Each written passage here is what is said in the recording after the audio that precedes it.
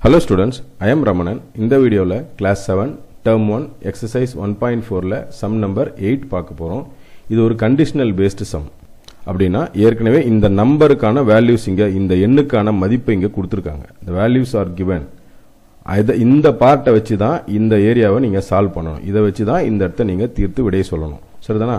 Okay ரொம்ப easy நூற்றி அறுபத்தெட்டு பெருக்கல் முப்பத்தி ரெண்டுனுடைய மதிப்பு ஐயாயிரத்தி முந்நூற்றி எழுபத்தி ஆறுன்னு கொடுத்துருக்காங்க. ஆனால் நமக்கு ஒரு வேலை ஒன்று கொடுத்துருக்காங்க. என்னன்னா நம் நமக்கு என்ன கொடுத்துருக்காங்க அப்படின்னா மைனஸ் ஐயாயிரத்தி முந்நூற்றி எழுபத்தி ஆறு வகுத்தல் மைனஸ் முப்பத்தி ரெண்டு. நான் ஏற்கனவே உங்களுக்கு சொல்லியிருக்கேன். இந்த ரூல் படி இந்த முழுக்களினுடைய விதிகள் இன்டிஜர்ஸ் ரூல்ஸ் படி பாருங்க.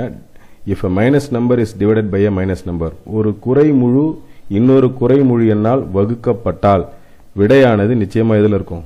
மிகையில் இருக்கும் பாசிட்டிவ்ல இருக்கும். அப்போ இந்த மைனஸையும் இந்த மைனஸையும் கட் பண்ணிக்கலாம் கேன்சல் பண்ணிக்கலாம். இந்த five thousand three hundred and seventy six ஐயாயிரத்தி முந்நூற்றி எழுபத்தாறுக்கு பதிலாக சம்பளம் என்ன கொடுத்துருக்காங்கன்னா இந்த மாதிரி ஒரு வேல்யூ கொடுத்துருக்காங்க. அப்போ இந்த ஐயாயிரத்தி முந்நூற்றி எழுபத்தாறு எடுத்துட்டு இந்த வேல்யூ நம்ம போட்டுக்க முடியும். நூற்றி அறுபத்தி எட்டு பெருக்கல் முப்பத்தி இரண்டு பை முப்பத்தி இரண்டு.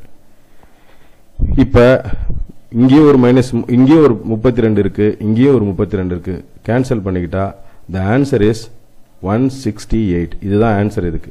இது ஒரு சிம்பிளஸ்ட் ஃபார்ம் சப்ஸ்டியூஷன் மெத்தட்னு பேர் இதுக்கு. ஒரு வேல்யூக்கு பதிலாக இன்னொரு வேல்யூவை ஈக்குவலண்டான இன்னொரு வேல்யூவை சப்ஸ்டியூட் பண்ணுறது உயர் வகுப்புகளுக்கு போகும்போது இந்த மாதிரி கண்டிஷன் பேஸில் சில வேல்யூஸ் கொடுத்து ரீப்ளேஸ் பண்ணி சம்மை கேன்சல் பண்ண சொல்லுவாங்க. செம்முக்கு ஆன்சர் பண்ண சொல்லுவாங்க.